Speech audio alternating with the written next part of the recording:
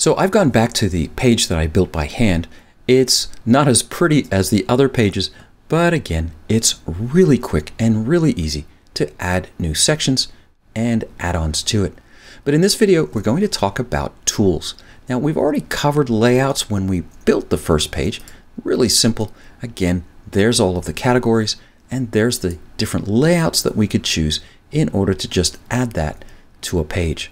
Now, this layout will completely overwrite whatever you've done before. So again, be careful. Thankfully, again, unlimited undos. In the Tools menu, I have Page Settings, My Sections, My Add-ons, Import, Export, Empty Content, and Add to Menu. In the page settings, I have the title for the page that I'm working on. I can update it to a category, change the language, and change the access. I can add some meta description and keywords, which is always important.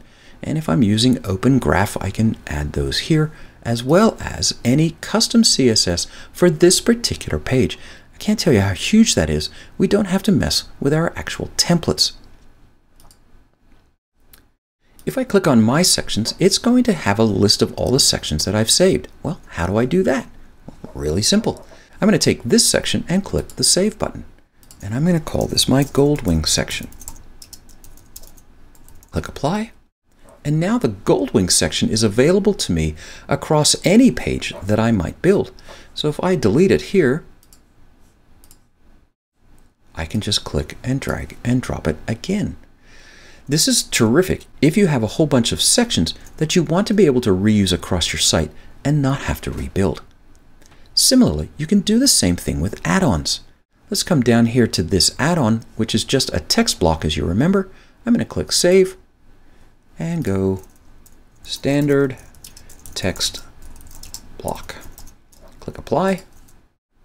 And now if I click on my add-ons, there it is. Click, drag, drop, done. What about import and export? Well, let's demonstrate that by creating a new page. And I'm going to just call this demo import page. So creative, I know. Click leave. I don't worry about saving those changes. And I'm going to go to tools, import, and it's going to look for any JSON file that has been exported from a different page using SP Page Builder. And it's as simple as that. This is a page from a site that I did for a speaking engagement I was doing where I live. And you can see that the entire page is imported, including this image, which is actually from SP Page Builder. So there's the text, the button, and all of the sections that were either active or hidden. If I click Save and close, there's my page imported from a completely different website. Fantastic.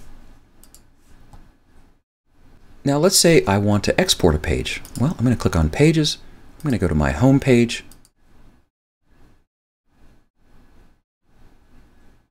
And I'll click on Tools and Export and it's done. The template file has been downloaded and now I can take that and move that anywhere else or even embed it in the same website if I want. Lastly, empty content, well, does exactly what we talked about earlier. It's going to empty the entire page and then add to menu we've already demonstrated. But quickly, let me go back to my, my demo import page. Click on tools, add to menu, and call it demo. Add to menu. Once again, clicking save here is important. Close. And here's my demo page.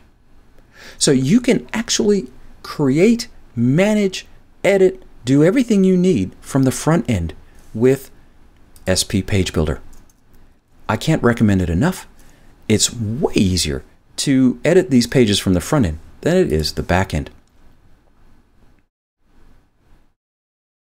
And so that's the Tools menu and a quick look at how you can manage all of your pages. Lastly, here in the Pages menu, I can preview, edit, or delete and manage all of the pages that I've created with SP Page Builder.